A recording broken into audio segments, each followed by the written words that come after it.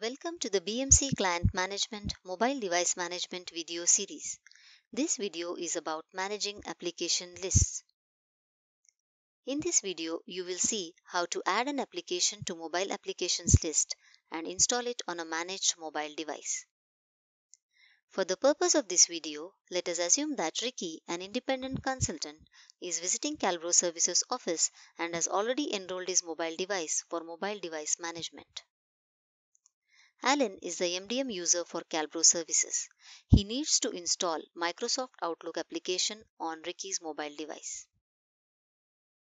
After logging on to the BMC Client Management console, Alan navigates to Mobile Device Management, right-clicks Mobile Applications and selects the Create Mobile Application option. He searches and selects Microsoft Outlook. When prompted, Alan selects the option to create a new command to install the application. In the command wizard, after updating required information, Alan assigns the command to Ricky's mobile device and clicks Finish.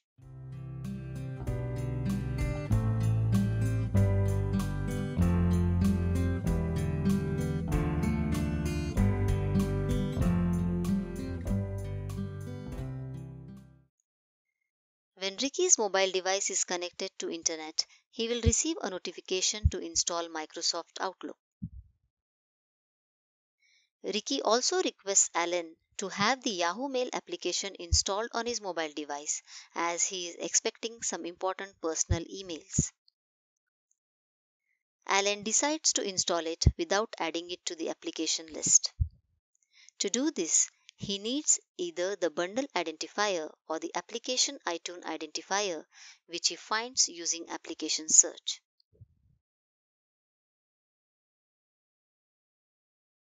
After logging on to the BCM console, Alan navigates to Mobile Device Management, right-clicks Commands and selects Create Mobile Command option.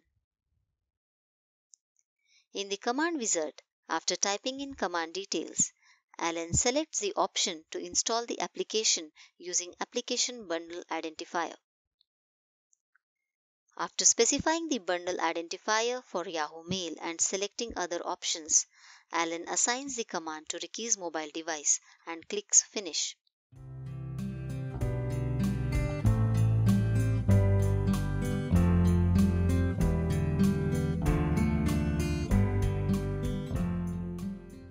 When Ricky's mobile device is connected to internet, he will receive a notification to install Yahoo Mail. We hope this video has helped you to understand how to manage application list in mobile device management. For more information, refer to docs.bmc.com.